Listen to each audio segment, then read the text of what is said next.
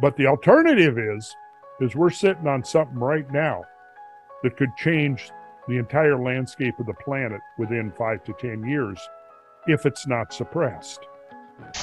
Have you been frightened about the prospect of global catastrophe due to climate change? You're not alone, but there is a glimmer of shining hope within our dystopian reality. Recently, breakthrough developments of the Bendall engine and its independent verification have proven optimistic.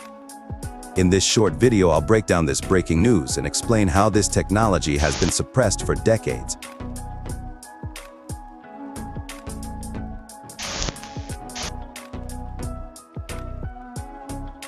Recently, Randall Carlson was on the Before School show talking about the controversy of the inventor, Malcolm Bendall, and his postponed episode of the Joe Rogan podcast recorded earlier this year.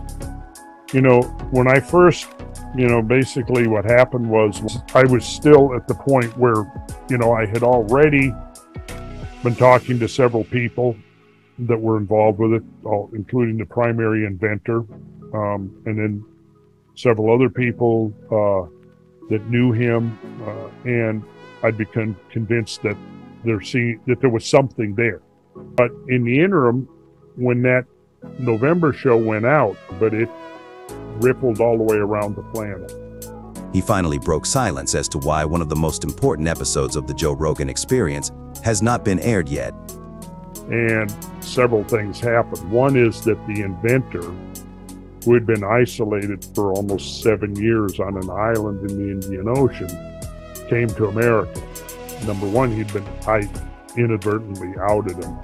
And then he was going to kind of teach me and guide me through the principles of plasma technology. Uh, in the interim, Jamie had pulled up this stuff from a couple of decades ago, which was basically stuff that found its way into the media, whose primary purpose was to discredit Malcolm and portray him as a grifter. I do not wish to talk about it myself, but I've been a victim of quite a bit of suppression. So has any other legitimate researcher in this area. Right. The reason was, and it's a kind of a long story, but I've had it verified by several people who, who, who've been close to the whole thing. One of them is a best-selling Australian author, Roland Perry. Uh, who spent four years investigating this whole thing that went down in the early 2000s and late 90s when Malcolm uh, discovered that there was a high probability that there was a major oil reservoir in Tasmania. And he got licensing to do exploratory drilling from the Tasmanian government and he was raising money to do the exploratory drilling. Well, it turned out that one of the major oil companies had overstated their reserves by about 30%, which could have gotten him into a whole lot of trouble. Look, and here you've got this kind of lone, you know, oil prospector. His background was in geochemistry. He had the licensing, the drilling license to drill, and they decided that that if they could get control of that oil, it would solve their problem. What they did, their tactic was to try to scare away the investors. They bribed journalists, they bribed politicians to sort of concoct this whole narrative, and that's what they did to portray him as a, a, a kind of a, a religious nut job, things like that. He's done things and said things that, you know, give, gives him fuel in a way. Most recently, Malcolm and Bob Greenyer from the Martin Fleischmann Memorial Project presented the thunderstorm generator to an audience of scientists in Zurich, Switzerland. Malcolm, who was initially met with some skepticism, that is until his engine was confirmed at the conference to reduce carbon emissions by turning waste exhaust into oxygen via a cold fusion process discovered and suppressed in the Pons-Fleischmann experiment and he was at MIT in the, in the science office for education when he saw how they had changed the data on the reproducing the Pons-Fleischmann experiment. And he blew the whistle. Uh, I inadvertently was looking through some piles of paper that had been given to me in a casual manner by all these hot fusion physicists as they were trying to do their calorimetric uh, repeat of the Pons-Fleischmann experiment. And to my utter astonishment, I can remember sitting at my desk in my study and actually seeing these two sheets of paper, one dated July 10th, 1989, and another dated July 13th, three days apart. The difference between July 10th and 13th was dramatic. And I was stunned. I couldn't believe what I was seeing. It looked like monkey business to me at the time, and it has turned out to be exactly that. It was a lower echelon person in the Plasma Fusion Center at MIT, one of the 16 authors of a scientific paper done under Department of Energy contract that had altered data. And that data is scientific fraud, as far as I'm concerned, and many other people are concerned. Between Bob Greenyer, a highly credible engineer, and all the independent researchers at the Tesla conference, there shouldn't be any more controversy regarding the thunderstorm generator. It really does work. Jordan from Alchemical Science has personally verified the engine on his channel, and I highly suggest you give it a watch. Malcolm's presentation in Switzerland gives a clear and concise explanation as to what exactly is happening within the generator. The thunderstorm generator has shown a remarkable ability to increase efficiency by disassociating oxygen and hydrogen and then feeding said hydrogen back into the engine. Utilizing sacred geometric principles and specific ratios, the thunderstorm generator successfully replicates a thunderstorm in a bottle. I treat air, and out of air, I make it more than just providing oxygen for the combustion process. There are combustion stimulating molecules and radicals generated in this process. Thunderstorm in a bottle. We've already proven this is possible with the star in a jar experiment. contained in a flask of liquid.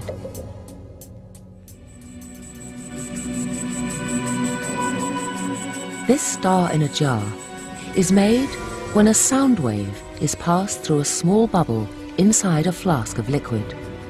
And this sound wave makes the bubble do something remarkable. First it expands, then it collapses. And this collapse happens so violently that vapor molecules trapped inside the bubble slam together and heat up so much that the bubble gives off an incredible burst of heat and light, several thousand times a second, giving the appearance of a star.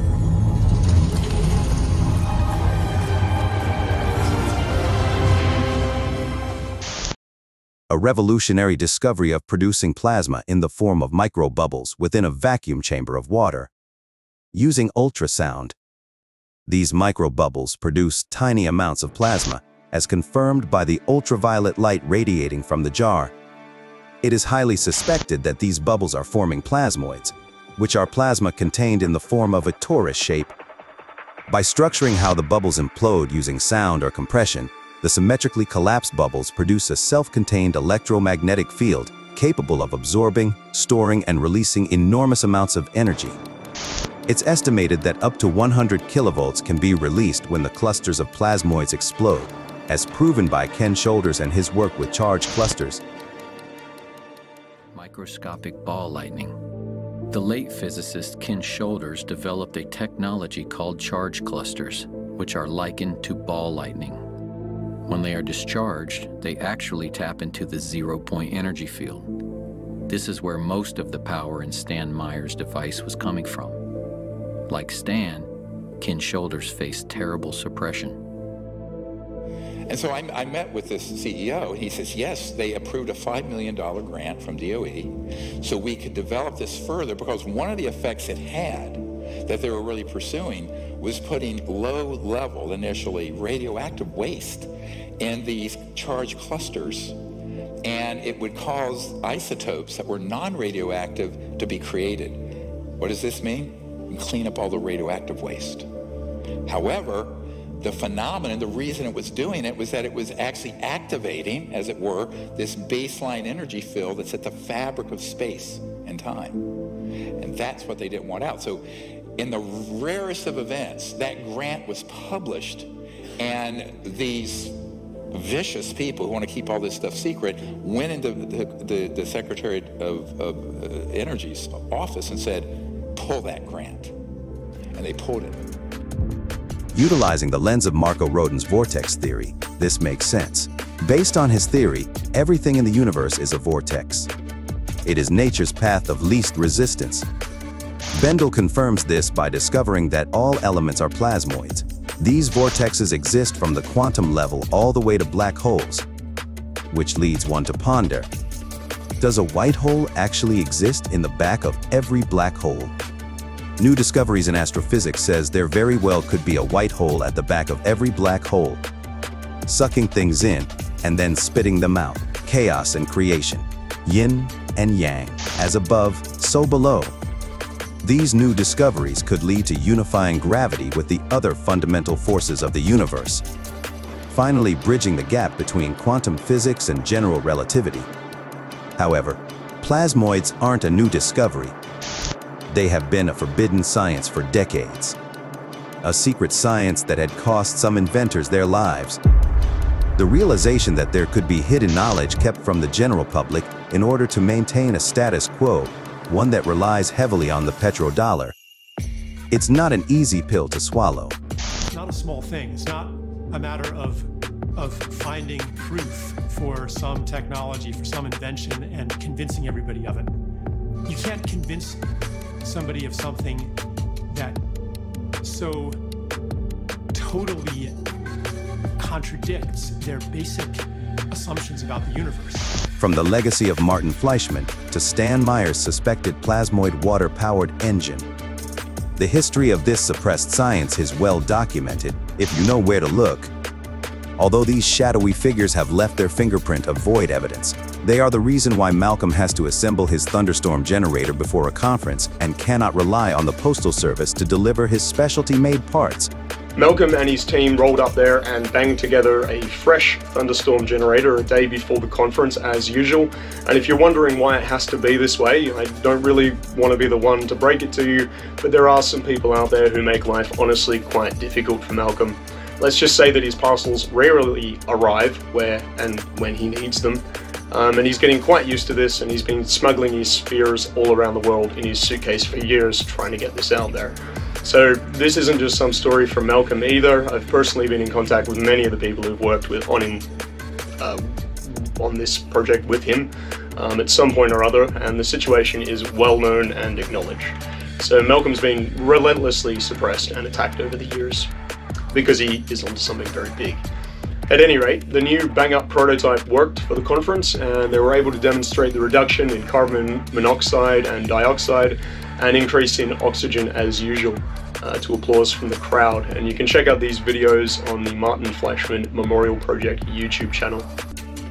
That is why pioneers like Marko Rodin, Malcolm Bendall, Randy Powell, Jordan from Alchemical Science, and other independent researchers are the true heroes of renewable energy. They have fought to open source this technology for the benefit of the world. It is the only true strategy to circumvent suppression. The suppression we've seen time and time again.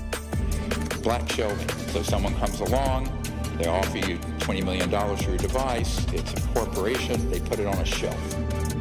The national security orders, we're going to show you one from a man we just met with. Patent seizures, financial entanglements from investors, because they're doing their whole business and legal strategy wrong. Legal entanglements where they end up in court.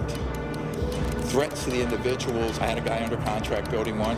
All you have to do is have some thugs come in and say, you, your wife, you're dead, you stop this. And he stopped. And then scientific fraud. Smear campaigns that attempt to discredit someone's character.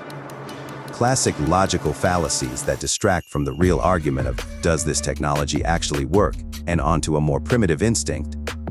Deflection is something we also see reflected in our political system, a tried and true technique to discredit anyone who disrupts the current macroeconomic system. It's time to summarize the groundbreaking science that Bendall explained during his conference. As Jordan puts it, these energy clusters are quasi-stable formations that exist everywhere. They're all around us. However, conventional science doesn't recognize them. Many scientists have called them different names. Monopoles, charged clusters, radiant energy. As it turns out, these are all used to describe the phenomenon of static electricity, a revolutionary discovery hidden in plain sight, as the true nature of static electricity has eluded scientists for centuries. As we break through these chains of suppression, we are about to experience a radical change of our civilization, A drastic paradigm shift is about to happen with this revolutionary plasmoid technology. Are you prepared? For more videos like this, and updates on plasmoid technology and other forms of forbidden knowledge, subscribe to my channel. Beneficence TV. Beneficence is beautiful